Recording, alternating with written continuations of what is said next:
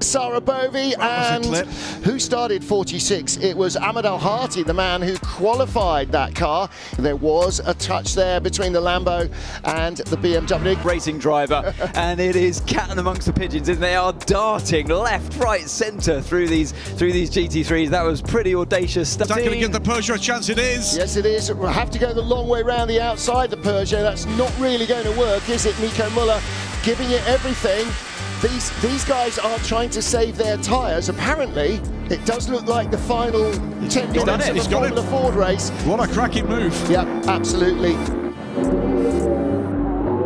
Now down into turn one at the lead of the race. Whoa. Outright, I think Molina might just make this difficult for Muller on the outside. Gives him room though, Yeah. and it's going to be the Peugeots towards Wow. turn two. Well, that's exactly the move that Molina pulled on the front row of the grid to take the lead. out. Now they see the move into oh! turn six. Jota Wow, car from Will dives, and Stevens. Suncoat, the number six car, the other Penske car, like, looking to dive through as well. So a bit of opportunism from Laurens Vanthoor, nearly dive bomb Michael Christensen. No worries then. They're different tire. We keep going. You still have two cars behind you. Keep going. I got overtaken around the outside. What the hell? Well, we still have six and a half hours to make up on it, so no worries. Keep going. You're doing good. You're doing good.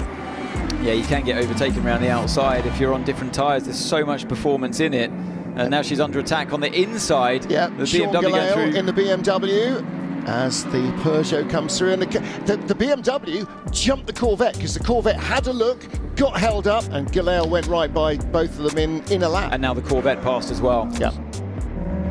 This might have been the uh, the opportunity that Pier Guidi was looking for. A bit of traffic has helped him out here as they run up towards the fast corner of turn 12. He's trying to go around the outside and he makes it work. Brilliant stuff between these two. And Oh, that was- onside. Whoa, a biff That for was the 78 31 of the 78. I think there's damage to that Lexus as well. I think there's smoke from the rear. Was Oh. smoke to the rear of that car. Oh, he did go right over the white line. He's Going to to be have fair. to give that back. All right, he was forced off, you would say, by Calado. That's an interesting one. He did mm. take the car right over. We see this quite often in Monza, don't we, on the main straight? That's the Peugeot. It's the Peugeot. But Is that the 94? Ch- Yeah, It's a 93. It's gone It's a through. 93. The Peugeot is off the podium in one fell swoop. Callum is second for Jota. No power, no power.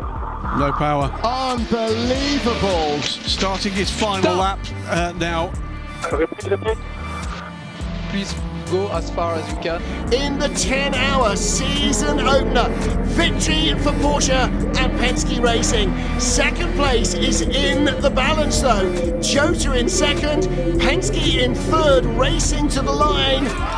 It will be a Porsche sweep of the podium. The ecstasy and the agony, because this too is sport.